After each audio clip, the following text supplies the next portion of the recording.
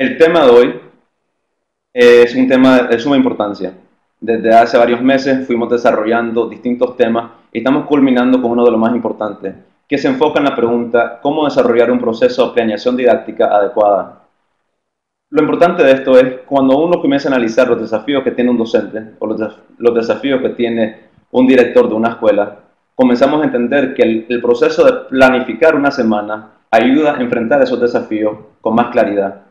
Y lo que vamos a aprender el día de hoy con dos presentadoras de alta experiencia es cuál es ese modelo y cuál es la manera de implementar y planificar adecuadamente esa semana para emprender y desarrollar una planificación didáctica importante.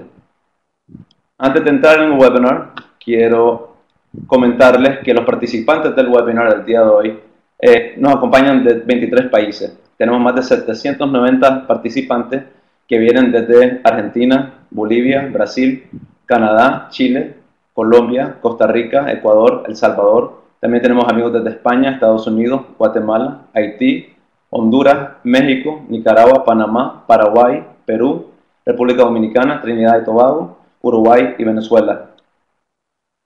Ahora entrando en nuestra comunidad en línea, los invitamos a que participen en la riedamericas.net, que es súper importante. Ahí es donde van a encontrar los recursos como los videos, PDFs, eh, información sobre la docencia, y entonces le invitamos a cada uno que vaya al link que ven abajo, www.riedamericas.net, y en, ahí pueden encontrar en el grupo eh, de la RILE esta comunidad que está participando el día de hoy.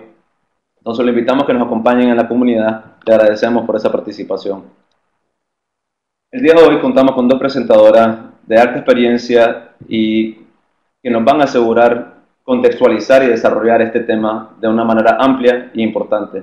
Vamos a iniciar con la doctora María Angélica Guzmán Droguet, que nos acompaña desde Chile. Es profesora de filosofía, postulada como profesora especialista en currículum y evaluación. Es doctorada en ciencias de la educación y postdoctorada en el área de competencias y formación continua de profesores. Su desarrollo profesional se ha centrado formalmente en dos grandes ámbitos, a saber, la formación de profesores y la asesoría en procesos de rediseño curricular en la educación superior ambas labores atendiendo tanto a programas de pre como de posgrado. Su trabajo de investigación y publicaciones en la última década han estado centrados en la construcción curricular, específicamente en temas asociados a los procesos de rediseño curricular y en la formación orientada hacia el desarrollo de competencias profesionales.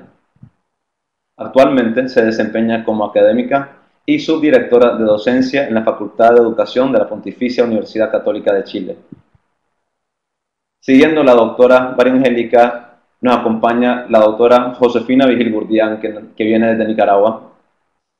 Ella es cientista social y doctora en ciencias de la educación con especialidad en, en didacta de las ciencias sociales por la Universidad Católica de Loviana, Bélgica. Cuenta con amplia, amplia experiencia en formación inicial y en servicio de docentes de educación básica, media y universitaria. En la asesoría pedagógica a centros educativos en la elaboración de materiales, educativos y en la coordinación y dirección de equipos educativos. Se ha desempeñado como investigadora y coordinadora de formación docente del Instituto de Historia de Nicaragua y Centroamérica de la Universidad Centroamericana, coordinadora del Programa Regional de Mejoramiento de la Enseñanza de las Ciencias Sociales en Universidades Centroamericanas del INCA-UCA, financiado por, por la Fundación Ford, Secretaría Técnica de la Red Centroamericana de Fe y Alegría. Es asesora del Movimiento de Educación Popular Fe y Alegría Nicaragua, gerente regional para, el centro, para Centroamérica y México del Centro Magis y docente de la Maestría en Educación y Aprendizaje de la Universidad Centroamericana. Actualmente es asesora pedagógica en la Fundación Pantaleón e investigadora senior del Centro de Investigación y Acción Educativa Social, CIACES, del cual es cofundadora. Entre otros temas, ha investigado cerca de modelos de formación inicial y en servicios de docentes, tanto como metodologías presenciales como virtuales, eh, el pensamiento del profesor de educación primaria, la calidad educativa, sobre todo en lo que respecta a los factores de contexto escolar, las políticas, estrategias y legislación educativa.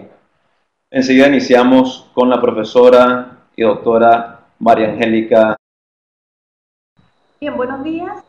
Hoy vamos a trabajar el tema de la y su impacto en el liderazgo pedagógico.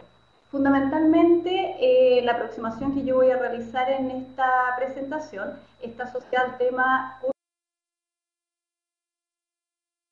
eh, académica. Aquí a las flechitas. Ahí. ¿Dicen? Entonces, voy a ajustar el micrófono porque aparece que... Ahí lo subí. Bien. Bueno, lo primero es situar esta conversación que vamos a tener ahora en razón de eh, un contexto de análisis que es el siguiente. Hoy nosotros estamos claramente asociados a un proceso formativo y de aprendizaje que lo que está buscando es la calidad en la formación y esa calidad en la formación eh, estaría brindada principalmente porque el conocimiento se ha construido de manera integral a partir de la articulación entre conceptos, habilidades y actitudes que queremos formar en nuestros estudiantes podemos decir que, eh, en definitiva, el gran desafío que nosotros tenemos que enfrentar hoy por hoy es cómo estructurar el conocimiento pedagógico.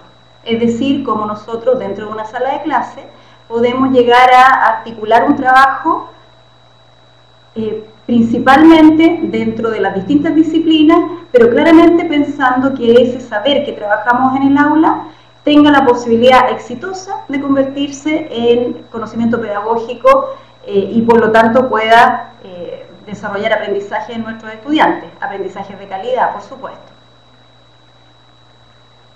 En esta lógica es que el concepto de planificación aparece como un elemento central, dado que la planificación concienzuda, sistemática, es la que a nosotros nos va a permitir articular estos distintos planos del conocimiento. Y en ese marco, nosotros vamos a partir con una definición común pero que a la vez sea bastante flexible y vamos a entender el proceso de planificación como el conjunto de todas las decisiones que están vinculadas a la selección, organización, desarrollo y evaluación de los procesos formativos.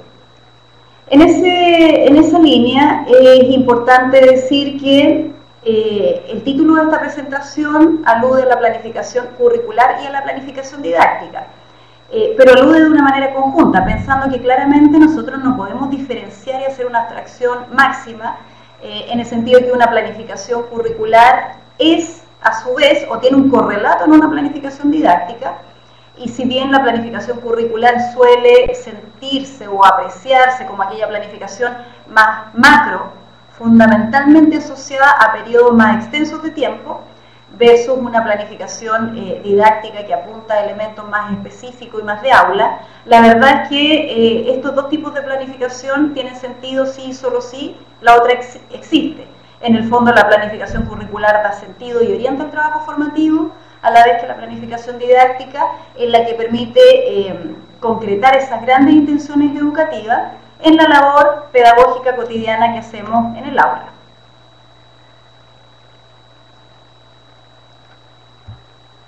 Bueno, hoy nosotros podemos eh, apreciar que nuestras distintas realidades nacionales, las nuevas políticas educativas tienen eh, lineamientos, yo diría, bastante similares. Por una parte, se fijan los marcos curriculares, eh, que pueden ser nacionales, regionales, dependiendo del contexto en que nosotros estemos.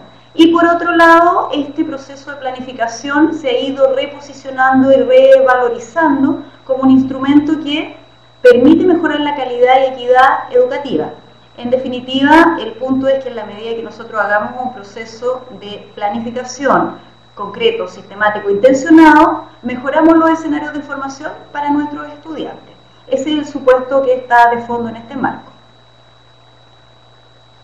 Ahora, cuando nosotros planificamos, y yo creo que con esto ya eh, entramos derechamente en el proceso de cómo debemos hacer los procesos de planificación, una pregunta esencial que debería estar al inicio de cualquier eh, trabajo de planificación, en cualquiera de las dos líneas que estemos hablando, es el, la construcción del tipo de aprendizaje que estamos buscando. ¿Y eso por qué?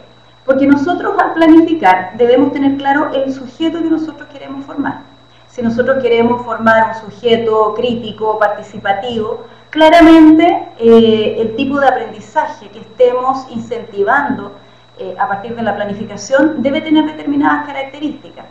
En el fondo, nuestra gran pregunta, más que disciplinar, es una pregunta epistemológica. Más que definir si yo voy a hacer la planificación en matemática, en arte o en lenguaje, la pregunta es, ¿cómo quiero que sea ese aprendizaje?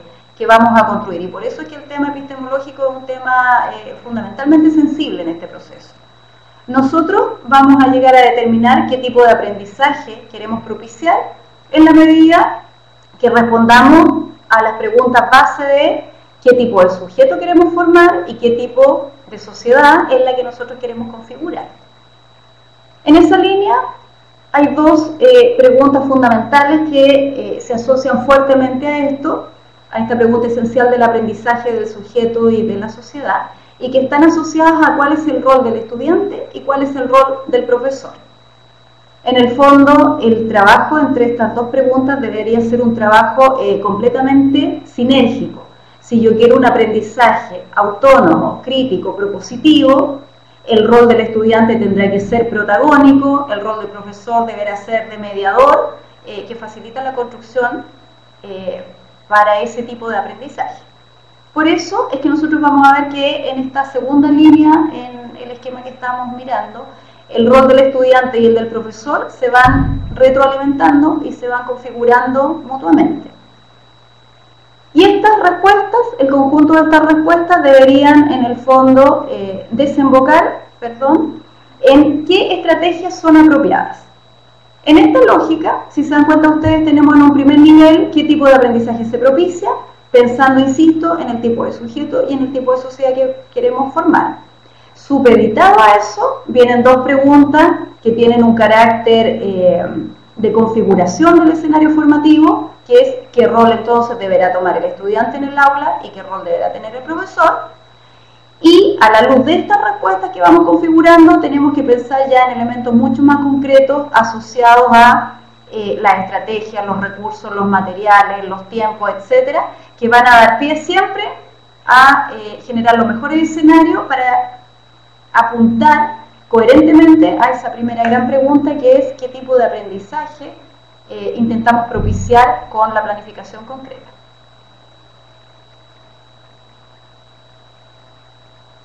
Ahora, ¿en qué referente nosotros deberíamos fundamentar nuestros procesos de planificación? La verdad es que no hay una receta única, depende mucho de cuáles sean los contextos en que nosotros vamos a estar eh, insertos para elaborar la planificación, pero eh, yo diría que tratando de mirarlo de una manera muy transversal en las distintas situaciones eh, de los países con que hoy estamos ¿verdad? conversando, hay elementos como por ejemplo que no deberían faltar, digo como por ejemplo el marco curricular nacional, que existe, y el marco curricular institucional.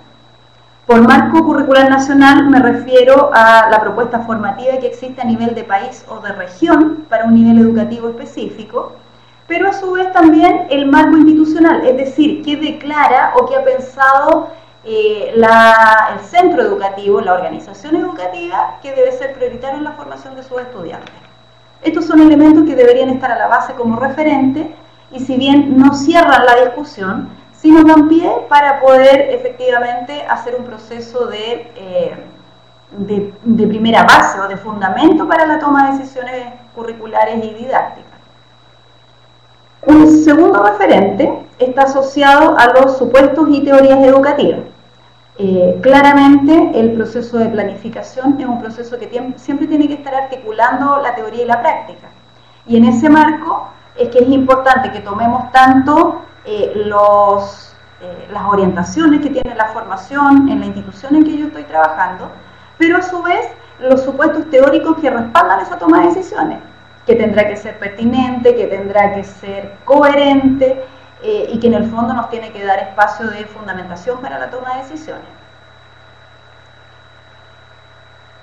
Otro referente son las intenciones formativas, es decir, cuáles son los propósitos centrales frente a los cuales nosotros estamos orientando nuestro quehacer educativo. Los proyectos institucionales, nosotros tenemos que nuestros centros educativos hoy tienen una multiplicidad de proyectos institucionales los que pueden ir desde los proyectos educativos, que probablemente son los que más existen, pero también hay proyectos específicos por niveles, por áreas, por sectores de formación, etcétera, y esos también deben ser tomados en cuenta en la planificación. En definitiva, lo que nosotros tenemos que tener claro es que la planificación, cualquiera de las dos de que hablaba previamente, curricular o didáctica, son un instrumento para operativizar o poner en práctica los grandes lineamientos formativos que eh, estamos tratando de desarrollar en cada centro escolar. Por lo tanto, el proyecto institucional pasa a ser un elemento primordial en esta toma de decisiones.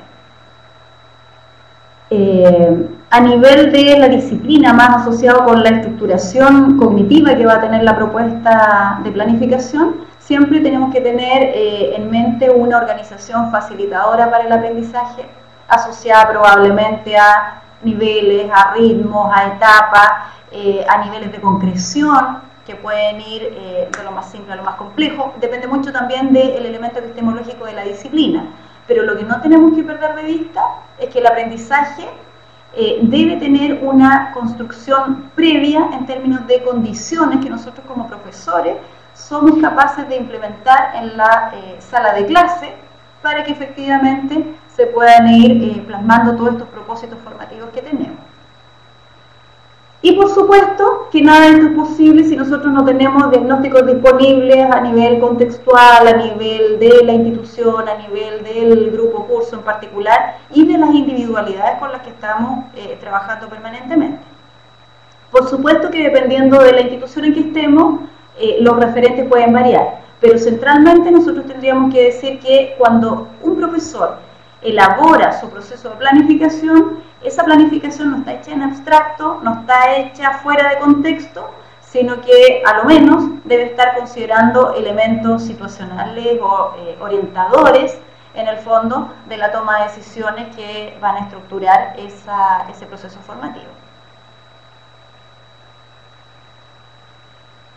Ahora, en ese marco es que nosotros vamos a eh, partir, ¿verdad?, un poco circunscribiendo cuáles son los elementos que deberían estar presentes en una planificación. Mínimamente, nosotros podríamos pensar que la planificación curricular, dado que es una planificación eh, más amplia en términos temporales, ¿verdad? Eh, y que por lo tanto no está pensada directamente para el trabajo, para su implementación concreta en el aula, clase a clase, pero sí tiene que dar una propuesta general de acción, debería estar considerando a lo menos los siguientes componentes. Los propósitos formativos, que es algo que ya hicimos alusión. Eh, aquí nos estamos preguntando qué queremos que los alumnos ¿verdad? aprendan a partir de esta gran planificación. Esta, esta, pregunta de qué es lo que queremos que los alumnos aprendan, recuerden que está claramente mediatizada por el tipo de sujeto que queremos formar y por el tipo de eh, sociedad que queremos construir. Por eso, normalmente nosotros podríamos decir que una eh, planificación siempre va a tener un elemento de deseabilidad, pero la idea es que esté vinculado fuertemente a los contextos reales que nosotros estamos tratando de enriquecer con dicha planificación. Un segundo componente son las grandes unidades de contenido. Hablo de unidades de contenido eh, simplemente en términos de tratar de eh, incorporar un tipo de organización que nos permita eh, seleccionar, secuenciar, priorizar ciertos elementos fundantes de cada una de las disciplinas que vamos a trabajar en la sala de clase. El propósito formativo, si bien es cierto, alude, como dijimos, al concepto de sujeto y de sociedad, no se da de manera abstracta, sino que lo damos enraizado a las distintas áreas de formación que existen eh, en, cada, en cada trabajo de aula y en cada trabajo escolar. Por lo tanto, yo establezco propósitos formativos que siempre deberían ser la priorización, la prioridad absoluta, y en segundo lugar veo qué contenidos pueden ser entonces significativos para el logro de esos propósitos formativos. Un tercer elemento está vinculado con la estrategia metodológica, que aquí eh, estamos pensando principalmente eh, no en la actividad concreta que voy a hacer en los 10 minutos de la clase, en los 10 minutos finales de la clase probablemente, sino que cuál es la lógica del tipo de eh, mediación que el profesor va a realizar con sus estudiantes en el aula. Por lo tanto, aquí ponemos nombres grandes que están asociados a la metodología de proyecto, a la estrategia de descubrimiento y otros, que en el fondo lo que deberían potenciar sería ese perfil de estudiante o concepto de hombre, de sujeto, ¿verdad?, que queremos lograr. Y un cuarto componente que debería estar presente en la planificación curricular es la estrategia evaluativa. También llamada estrategia porque en el fondo cubre una gran línea de trabajo. Es decir, eh, las preguntas esenciales en esta línea son qué tipo de eh, evaluación vamos a priorizar nosotros. Una heteroevaluación donde el profesor evalúe siempre al estudiante, un proceso de coevaluación en que los estudiantes se evalúen entre ellos, eh, un proceso de autoevaluación en que cada uno defina eh, cómo ha sido su progreso dentro del proceso formativo. La verdad es que eh, estas respuestas no son excluyentes unas con otras y podemos ir alternando distintas estrategias evaluativas. Lo importante es que esas estrategias estén en coherencia con la estrategia metodológica. Nosotros vamos a ver que todas las investigaciones en esta línea eh, lo que plantean es que hay un tema de sinergia y de coherencia interna que el profesor debe cuidar. Y más que buscar grandes innovaciones en las propuestas de planificación, lo que se esperaría es que haya coherencia y articulación en los distintos componentes.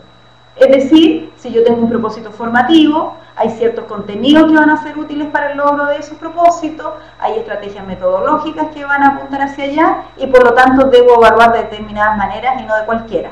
Lo peor que nos podría pasar es ser disruptivos en algún momento de este camino y por lo tanto hacer grandes innovaciones metodológicas, por ejemplo, y seguir evaluando de manera tradicional. Todos esos son elementos que deben ser pensados antes de, la interacción en la sala de clase y por eso es que se planifican eh, con tiempo, con intención y con un sentido claro. Ahora, la planificación didáctica es un poco más específica y lo que hace en el fondo es una suerte de desglose de estos componentes eh, anteriores que yo les comentaba. Y por lo tanto la planificación didáctica tiene como gran elemento orientador los eh, objetivos de aprendizaje. Es decir, los propósitos formativos que estaban en la planificación anterior, que eran amplios, que eran eh, completos, ahora se bajan en objetivos de aprendizaje concretos. Y por lo tanto, el profesor toma la decisión de qué objetivos de aprendizaje son los que va a diseñar, formar, configurar, para que en el fondo la comunión de todos estos objetivos permitan el logro de los propósitos formativos que estaban en la visión anterior. Luego, contenidos muy específicos asociados a cada objetivo de aprendizaje. Eh, claramente, como dijimos antes, los contenidos lo que hacen es ser funcionales eh, en el sentido que propician esos objetivos de aprendizaje. La decisión siempre debería ir en cualquier proceso de planificación, primero los propósitos formativos, los objetivos y luego los contenidos. ¿ya? Eh, a veces nos ocurre que por presión de tiempo, por presión de la gestión en las instituciones, eh, nosotros podemos llegar a ser altamente contenidistas e, e, iniciamos los procesos de planificación con la pregunta, a ver, ¿qué tengo que enseñar? Y la verdad es que esa no es la pregunta original. La pregunta original y fundante debiese ser, ¿qué requieren aprender mis estudiantes? E insisto, para llegar a ser los sujetos que nosotros estamos esperando formar. Los contenidos, por lo tanto, eh, en cierta medida pasan a ser funcionales a esos eh, objetivos. Bueno, luego vienen las actividades y aquí ya hacemos el desglose, esa estrategia metodológica que teníamos previamente eh, planteada, se desglosa en actividades muy concretas y específicas que se van a desarrollar Luego hay evaluaciones específicas, coherentes con las actividades y con los objetivos de aprendizaje, que se van a planificar con tiempo. Aquí podemos mezclar, como decíamos antes, los criterios, eh, heteroevaluación con autoevaluación, eh, poniendo ponderaciones distintas, etc. Lo que sí es importante es que yo diría que hay eh, dos órdenes de evaluaciones. Una evaluación que es más formativa y que está presente en todo el proceso de trabajo de aula y en toda la interacción, y hay momentos evaluativos que son formalizados con calificaciones y esas tienen ciertas etapas y ciertos momentos en que se implementan. Bueno, y luego hay un par de recursos que son esenciales en el proceso de planificación didáctica y que están asociados en general a todos los materiales con que se trabaja. eh, nosotros no podemos pensar que se van a desarrollar actividades formativas, actividades de aula, eh, sin llegar a eh, implementar recursos específicos. Y con esto no estoy pensando en recursos materiales, caros y complejos. la experiencia de un estudiante que puede compartir, una historia que puede contar un alumno o un profesor, puede ser un recurso importante en esta línea. Y por último, los tiempos que están implicados. Y aquí es importante hacer un manejo muy cuidadoso del tiempo, eh, porque a veces vemos que grandes planificaciones, muy bien articuladas y muy claramente estructuradas, fallan en la logística del tiempo y al final no logramos los propósitos formativos, no por una mala eh, docencia o por un mal trabajo de los estudiantes, sino porque simplemente los tiempos contemplados no fueron suficientes. Ahora, eh, en el chat veo que hay, preguntas asociadas al tema de eh, cuál es el rol del profesor, el rol como eh, tomador de decisiones en esta lógica. Y fíjense que por eso a mí me hace tanto sentido el que haya dos niveles de planificación, una curricular y una didáctica. La planificación curricular responde esas preguntas centrales que están asociadas al qué se quiere, qué sujeto se quiere formar, qué sociedad estamos tratando de construir, grandes unidades de contenido asociados a esos propósitos formativos y estrategias amplias. Eso funciona como un gran horizonte desde el cual yo puedo desprender una planificación didáctica. Planificación didáctica que como lleva un proceso de evaluación permanente, nos vamos a poder dar cuenta que en algún momento no se está cumpliendo, se cumplió más rápido lo necesario y tenemos que tomar decisiones a veces fuera de la clase, para la clase siguiente, y a veces dentro de la misma clase. O sea, si yo estoy haciendo eh, un proceso formativo y observo que mis estudiantes no entienden y no logran, eh, no logran esos objetivos de aprendizaje que tenemos planteados, el profesor debe tomar decisiones y por lo tanto eh, podrá reestructurar esta planificación didáctica. En ese sentido, una tiene un carácter de mayor permanencia, la curricular, y la didáctica debería ser mucho más flexible para ir en el fondo generando los mejores escenarios posibles para la formación de los estudiantes. Ahora, aquí nos aparece eh, la tríada esencial, por lo tanto, que es, hay un profesor consciente eh, de la formación que está intentando desarrollar, este profesor tiene, maneja la intencionalidad del proceso que está construyendo, por otra parte, hay un estudiante, un estudiante que lo que está desarrollando es un proceso de eh, construcción, de aprendizaje a partir de todo el escenario que la escuela y el profesor en particular generan. Y este tercer integrante de la triada en el fondo es el contenido, porque el profesor debe mediar el proceso de eh, aprendizaje del estudiante con un marco de contenido específico que debería estar eh, trabajando y a su vez el estudiante se tiene que apropiar personalmente, elaborando construcciones eh, individuales que siempre van a ser subjetivas de ese contenido a partir de la mediación del profesor. Aquí yo estoy hablando de lo netamente disciplinar, que es el marco curricular que estamos intencionando en la escuela. Obviamente hay otro tipo de eh, aprendizaje y de contenido que a lo mejor no van a estar tan, a ver cómo lo puedo decir, tan generados o iniciados por el profesor, y a lo mejor en algún momento el estudiante va a tomar el protagonismo, pero ese manejo también de la mediación eh, puede estar en manos del profesor en la medida que va viendo cuánto el estudiante se apropia de cada proceso formativo eh, en particular. Bueno, y esto es la propuesta didáctica concreta, cómo este profesor se hace cargo de un contenido en particular, generando la propuesta didáctica para que el estudiante pueda en el fondo transformar esa propuesta en aprendizaje concreto y específico.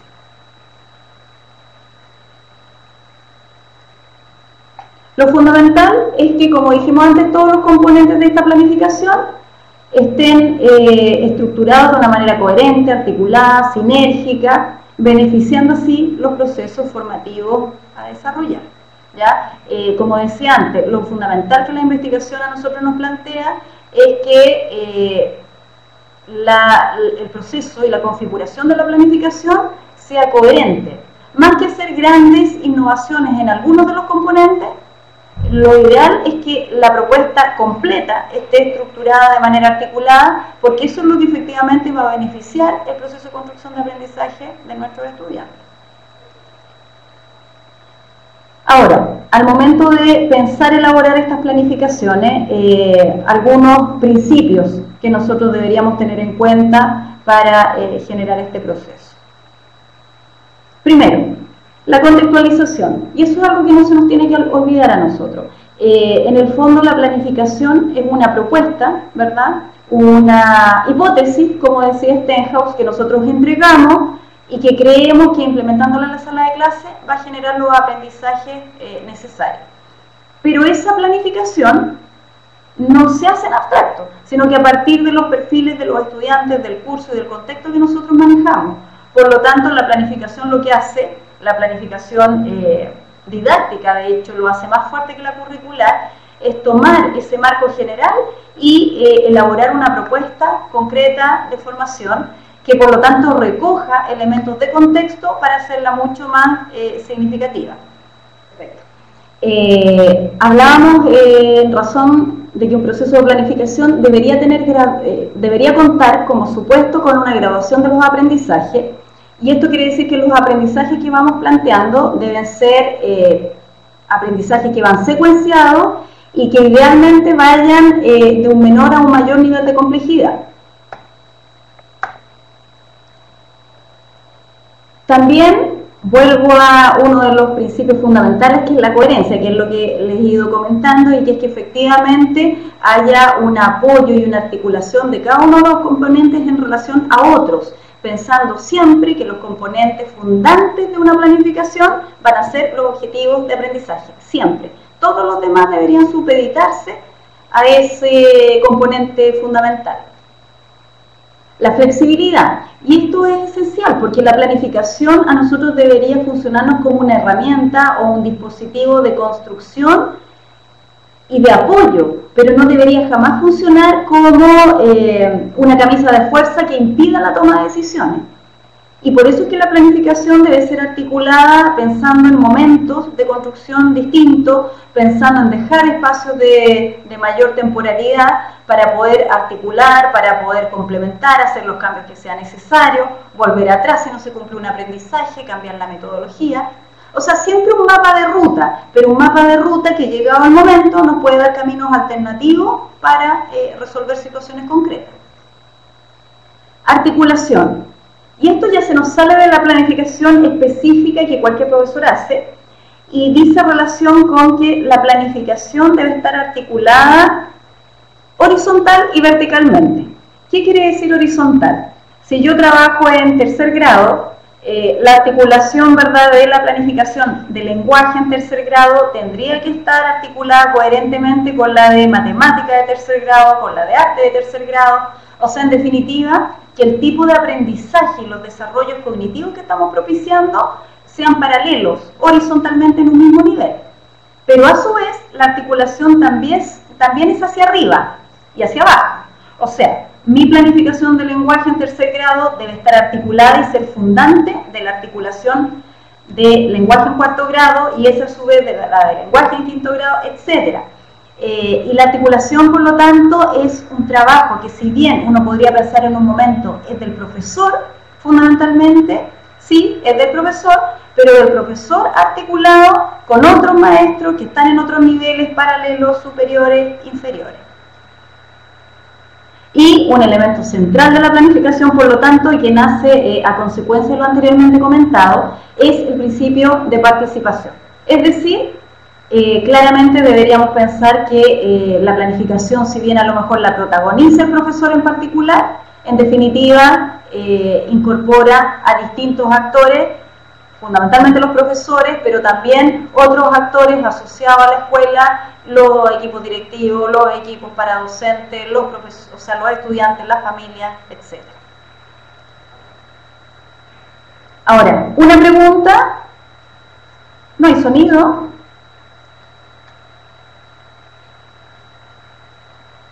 ¿Sí? ¿Sí? Ya, gracias. Otra eh, pregunta eh, que es fundamental y que complementa la reflexión anterior es que la planificación y por favor esto eh, tratemos de, significarlo bien en nuestra historia eh, profesional, y es que la planificación no termina en la sala de clase. La planificación se implementa en el aula, pero claramente esa planificación eh, debe ser evaluada. Y por lo tanto nosotros tenemos que ver en qué medida la planificación logró los aprendizajes que estábamos esperando, para sobre eso seguir tomando decisiones y retroalimentarlas. Así vamos a ver que hay dos grandes momentos, diría yo, para evaluar la planificación.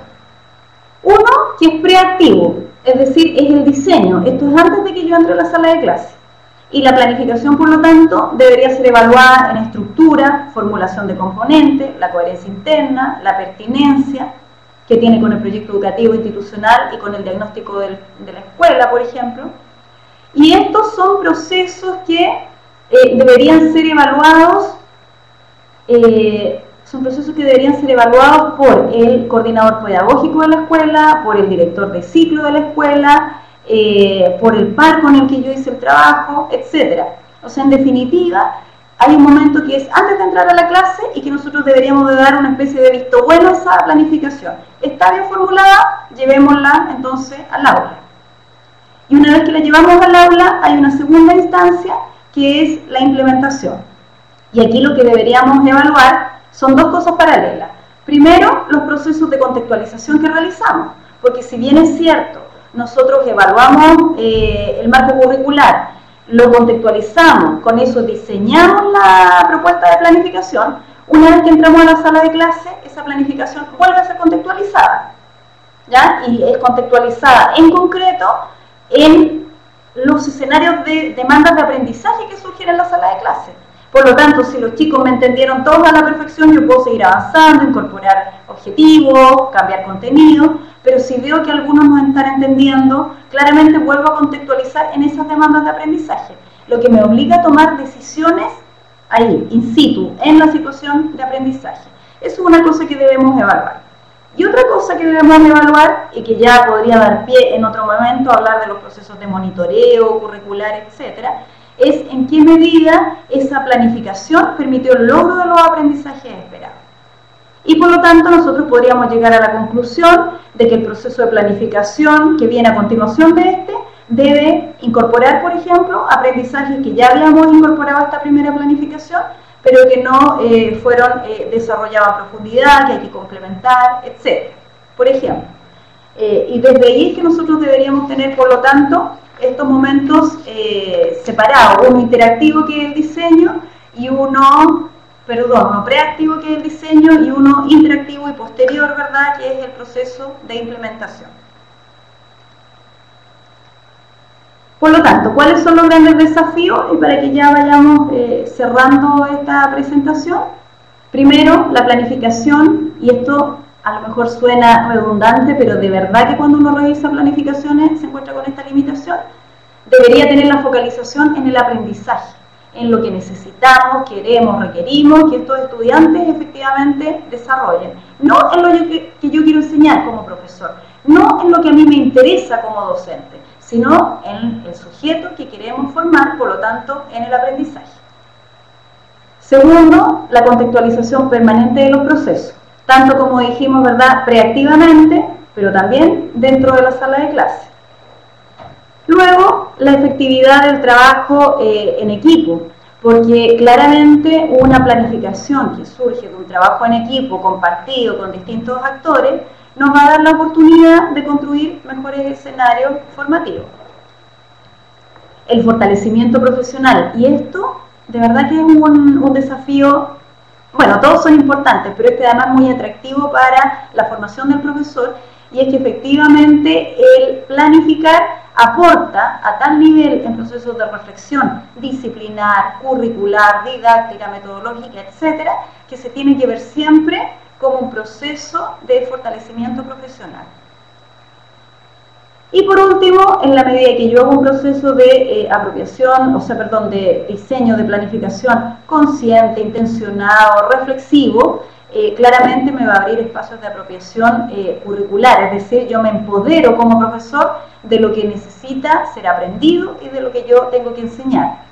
Eh, que dicho sea de paso, si uno analiza la investigación en el área, yo diría que es el más débil de los aspectos que hemos comentado hoy día, y es que la apropiación curricular que tienen eh, los profesores en general es media, no es alta. Un proceso de planificación intencionado, consciente, nos va a dar mejores espacios de apropiación curricular con certeza para los profesores. De ahí, por lo tanto, y yo creo que con esto se rescatan algunos elementos que ustedes han ido eh, planteando aquí en el chat, es que desde una lógica de un profesor como implementador, que simplemente toma el marco y lo aplica en la sala de clase, nosotros deberíamos hacer un proceso de transición y llegar a un profesor como líder pedagógico. De ahí el título de esta presentación.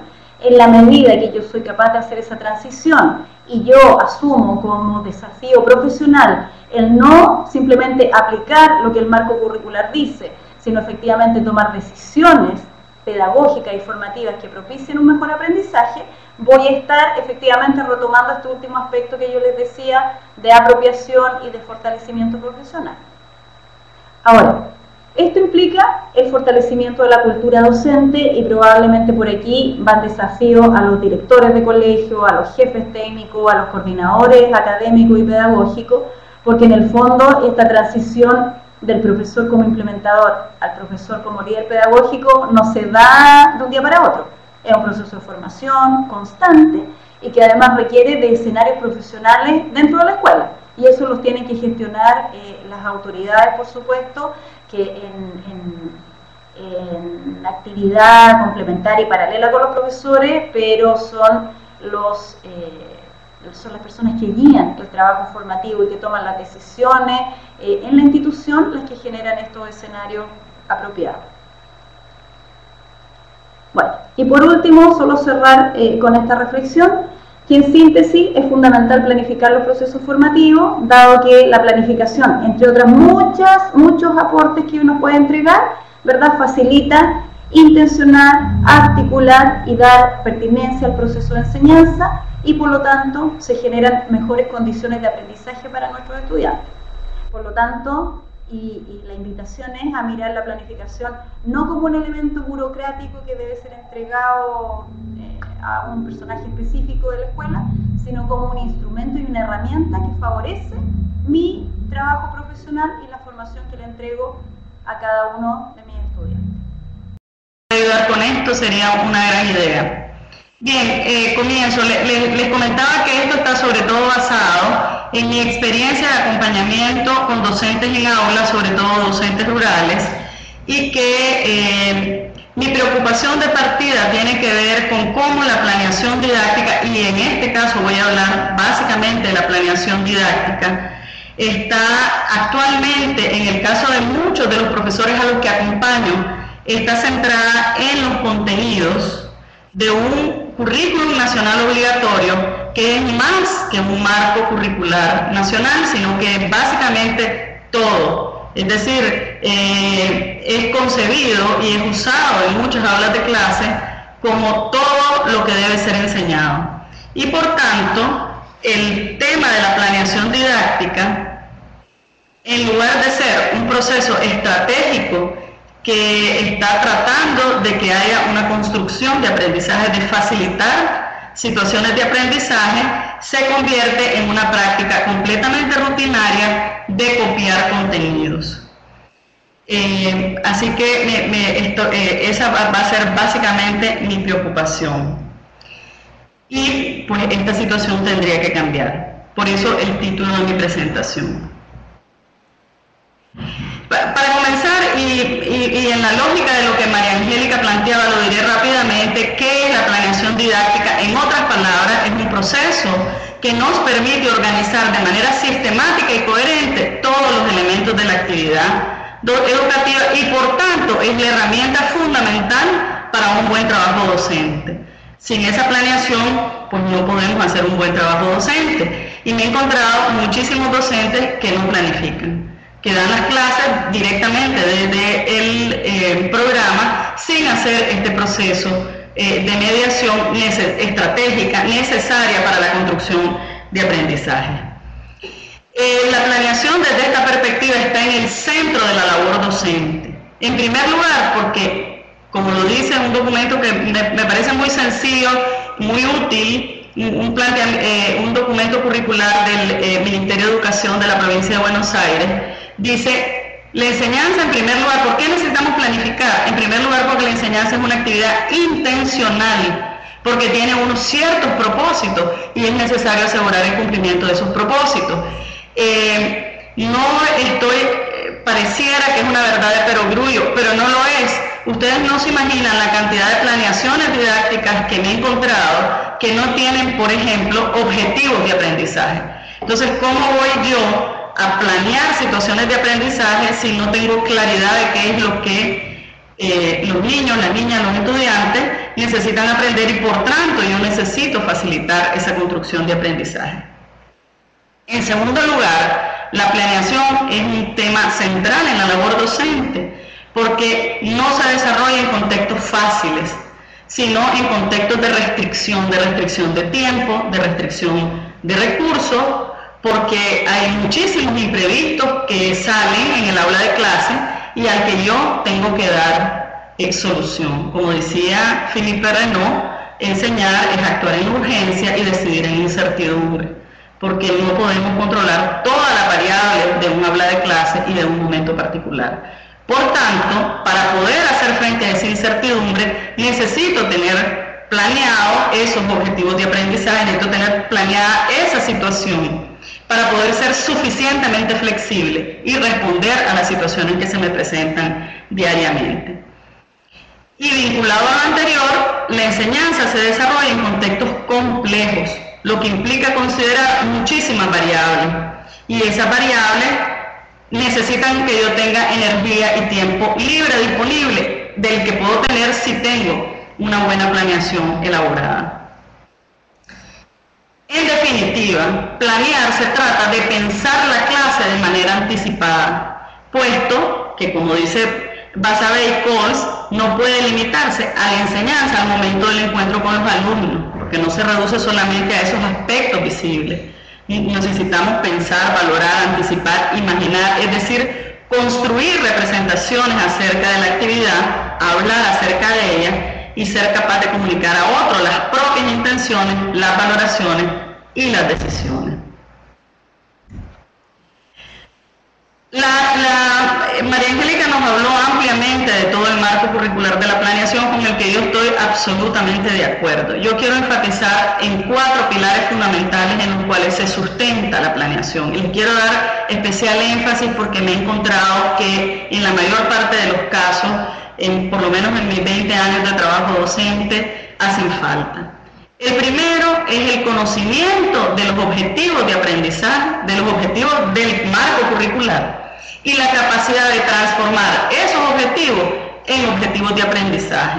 Es decir, yo como docente necesito tener claridad de qué es lo que queremos que los estudiantes aprendan, porque es en base a eso que voy a construir una situación que va a facilitarles a ellos la posibilidad de construir esos aprendizajes. En segundo lugar, el docente o la docente necesita tener un dominio disciplinar es decir, para poder hacer una buena planeación didáctica, yo necesito ser experto en lo que voy a enseñar. Y esta es otra verdad de perogrullo, pero es una verdad con la que nos encontramos eh, con problemas muchísimas veces. Y que tiene que ver con un círculo vicioso de la calidad educativa que al menos en el caso concreto de Nicaragua, que es el país donde yo trabajo, nos encontramos permanentemente. Es decir, eh, las personas que salen eh, de la escuela secundaria, que se bachilleran, tienen un conjunto de carencias en la construcción de habilidades fundamentales con las que llegan a la universidad o con las que llegan a la escuela normal y que su formación normalista, universitaria o técnica no supera, no logra superar porque no se plantea una formación compensatoria y por tanto se reproduce eh, todo esto que llamamos el círculo vicioso de la calidad, una formación de base deficitaria que luego eh, eh, se ingresa a una institución donde recibe una formación inicial deficitaria y posteriormente se ejerce una docencia en donde se van reproduciendo esas, debilidades con las que nos encontramos. Por supuesto, esto no es una generalidad, pero me lo he encontrado en muchas aulas de clase y por eso estoy compartiendo con ustedes estas inquietudes. Otro de los pilares fundamentales que quiero recalcar en el aula que tiene que ver con todo el tema de los recursos, de la ambientación, de la inclusión de todos y de todas, del tema de la regulación de los aprendizajes, del aprovechamiento de los recursos que tengo en el medio, de aprovechar las situaciones mismas que se presentan en clase, lo que Freire llamaba la beta educativa. Muchísimas veces me he encontrado en aulas de clase en donde un docente está buscando enseñar un concepto y ese es el diamante que está buscando en la mina y camino a ese diamante se encuentra una gran esmeralda y la deja y sigue de paso porque ese no es su objetivo. No, nosotros necesitamos aprovechar esas betas educativas que aparecen todos los días en nuestras aulas de clase y que solamente las podemos aprovechar si tenemos claros los objetivos de aprendizaje y si tenemos una planeación que nos permita tiempo y energía disponible para aprovechar esas becas educativas o bien para resolver problemas que nos salen también todos los días. Y finalmente, otro de los pilares que quiero recalcar es el de la transversalidad. Nuestro sistema educativo, al menos en Nicaragua, es un sistema educativo que está todavía, el currículum, perdón, está todavía estructurado en gavetas. Es como un armario que tiene gavetas completamente distintas. Matemáticas no se, toma con, no se toca con lengua, lengua no se toca con sociales, sociales no se toca con ciencia. Y yo estoy repitiendo permanentemente contenidos que la mayor, muchísimos de los cuales son innecesarios, y nosotros necesitamos trabajar el tema de la transversalidad, y eso lo podemos trabajar únicamente cuando en el centro de nuestra labor educativa está la persona del estudiante, la persona que aprende, y no un contenido particular de una disciplina particular que estoy obligada a enseñar. Entonces, ese es otro tema que me parece sumamente importante. Como ya lo mencionábamos entonces, las funciones principales de la planeación tienen que ver con anticipar la enseñanza, es decir, compensar la clase anticipadamente en función de los objetivos de aprendizaje. Pero también tiene que ver con un proceso posterior, que es el proceso de reflexionar sobre lo acontecido en la clase. ¿Qué me funcionó? ¿Qué no me funcionó? ¿Qué hubiera podido hacer mejor? ¿Qué nuevas ideas me surgieron? De tal manera que yo pueda mejorar mi práctica para mejorar los aprendizajes de mis estudiantes y atender la complejidad y la incertidumbre respondiendo a situaciones no previstas. Entonces, todo esto nos debe llevar a, a, reconceptualizar la tarea del planeamiento didáctico, revisando procedimientos, tiempos y metodologías. Y como les digo, muchísimos países de América Latina probablemente ya han resuelto esto que es un problema básico, pero no es el caso de mi país y esta es la experiencia que yo quiero compartir con ustedes. Necesitamos reconceptualizar esta tarea estratégica fundamental que es la de la planeación didáctica. Porque vuelvo e insisto, la planeación didáctica es un proceso estratégico y no puede ser entendido como un proceso rutinario. Y está siendo entendido en muchísimas aulas de clase de Nicaragua como un proceso rutinario de reproducción de contenidos que están escritos en un programa nacional de obligatorio cumplimiento. Este es un esquema que hemos construido con varios docentes y que es básicamente lo que hemos hablado antes y que está muy basado en el concepto de la transposición didáctica de la que nos habla Yves Chevelard y que eh, por alguna razón quité esa lámina de aquí, pero que Yves Chevelard nos plantea desde el año 85 que el proceso de la planeación didáctica es el proceso a través del cual un contenido a ser enseñado se transforma en un contenido, en, un contenido de un saber sabio se, se transforma en un contenido a ser enseñado y en ese proceso sufre un conjunto de transformaciones. Yo no enseño la teoría tal cual es, sino que la, hay un proceso a través del cual yo eh, preveo estratégicamente cómo es posible facilitar los aprendizajes de los estudiantes con relación a ese tema. Luego vamos a poner algunos ejemplos. Eh, coincido plenamente y es uno de los elementos fundamentales lo decía eh, María Angélica al comienzo, y es que lo que se aprende, por tanto lo que se enseña, no son solo conocimientos conceptuales. Y al menos en Nicaragua, la enseñanza está fundamentalmente basada en conocimientos conceptuales que deben ser posteriormente reproducidos. Pero en realidad ni se, solo se aprende ni solo se enseña conocimiento, sino conocimiento, habilidades y actitudes. Probablemente en el caso de Nicaragua, lo que menos se enseña son las habilidades. Y eso es eh, lo que estamos viendo hoy como grandes problemas del sistema educativo. Estamos entrando, o ya estamos navegando en el mundo de la información y la comunicación, donde hay una disponibilidad prácticamente ilimitada de información a la que todos y todas tenemos acceso. Sin embargo, no tenemos los métodos suficientes que nos permitan procesar esa información y transformarla en mi conocimiento para poder decir mi propia palabra. Decir, ¿cómo hago yo para que esa información que está ahí yo pueda leerla críticamente? Yo pueda confrontarla con otra información, con otros puntos de vista, yo pueda hacer síntesis de eso, yo me pueda posicionar sobre ella y yo pueda dar mi opinión sobre ella, que es aprender. Entonces, eh, esos métodos nos hacen falta y no están ni considerados en el currículum nacional, ni se enseñan en la escuela, ni se enseñan en la universidad, ni se enseñan en la escuela normal. Y esa es una de las principales carencias que tenemos en la educación actualmente. Entonces, ese saber, en términos de conocimientos, de habilidades y actitudes, debe ser transformado en ese proceso, como lo plantea Chevelar, en un saber a enseñar, que es el proceso de transposición didáctica. Y ojalá puede llegar a ser un saber aprendido.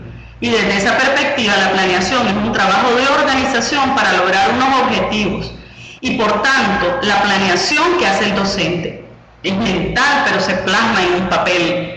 Y por ello necesitamos que sea escrita, porque cuando la escribimos la conceptualizamos mejor, la organizamos mejor y podemos reflexionar críticamente sobre ello.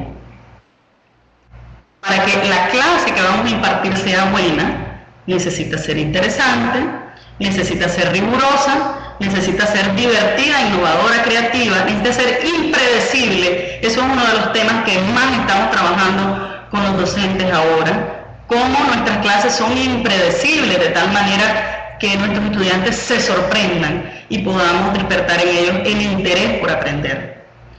Eh, que genere un clima de confianza y todo esto requiere, entre todas las cosas que María eh, Angélica ya nos decía, además un docente que está entusiasmado por lo mismo que él planeó, por lo mismo que él hizo en la planificación, que está emocionado porque cree que le va a salir bien, que va a ser interesante, que está esperando eh, las expresiones de interés, de motivación, de alegría de sus propios estudiantes, o que estamos con la esperanza que todos los docentes y las docentes tenemos siempre, que se produzca el milagro del aprendizaje que es una maravilla. Cuando uno ve que cuando uno ve las evidencias de cómo una persona aprende, uno verdaderamente se maravilla con eso. Entonces, ¿qué debe tener una buena planeación?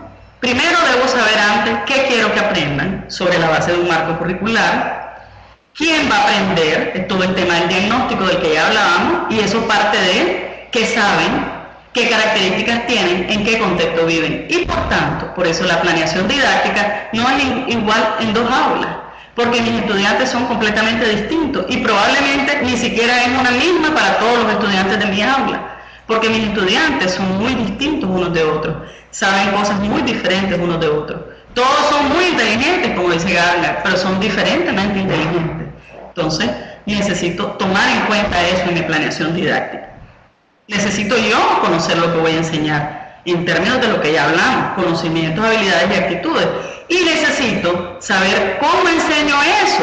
Y para saber cómo enseño eso necesito saber al menos dos cosas. Primero, qué características tiene la epistemología de esa disciplina, porque no es lo mismo eh, cómo se construye el conocimiento en sociales, en el área de los sociales, con cómo se construye el conocimiento en el área de las matemáticas. Hay epistemologías distintas y por tanto las didácticas son diferentes. Entonces yo al menos tengo que conocer cuál es la epistemología propia de esa asignatura y en segundo lugar, cómo entonces eso se traduce en una didáctica diferente.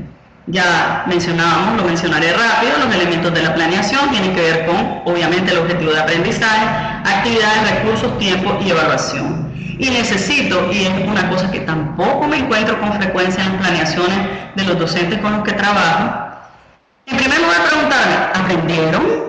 ¿Mis estudiantes aprendieron lo que necesitaban aprender? Y si no aprendieron, ¿qué puedo hacer para que lo aprendan? Porque no puedo pasar de largo si es una habilidad fundamental. ¿Cómo puedo mejorar mi clase? ¿Qué podría ser mejor? Son, a mi juicio, elementos centrales que debe tener una buena planeación. Como ya he venido mencionando, y ya estoy próxima a terminar, ¿qué problemas nos encontramos en Nicaragua?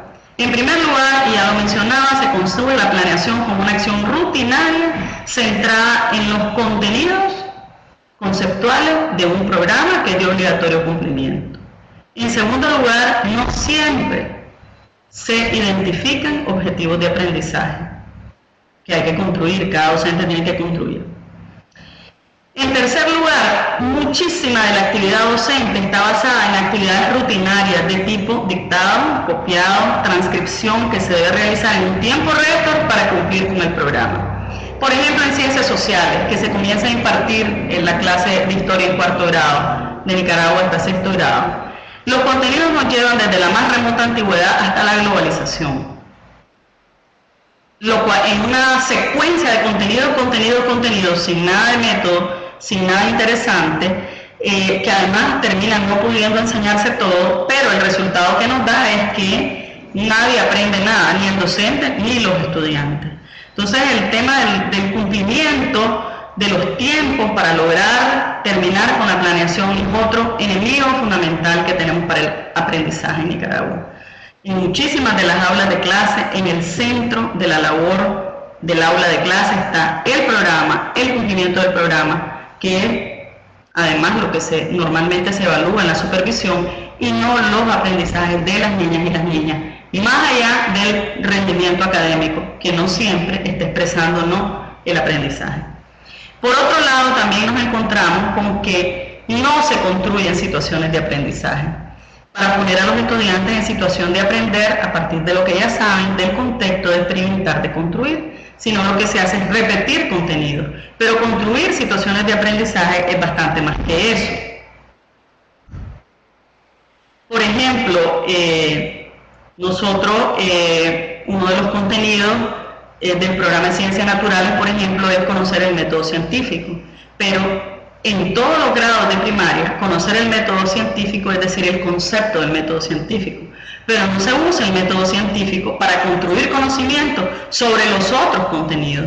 Por ejemplo, el tema de la fotosíntesis es otro concepto que hay que aprender, pero se podría utilizar el método científico para poner a los estudiantes en situación de aprender, de construir un conocimiento sobre la fotosíntesis, en lugar de ponerlos a memorizar dos conceptos que posteriormente serán olvidados porque no tienen ningún significado para un niño de cuarto grado, para un niño de quinto, grado, para un niño incluso de la secundaria.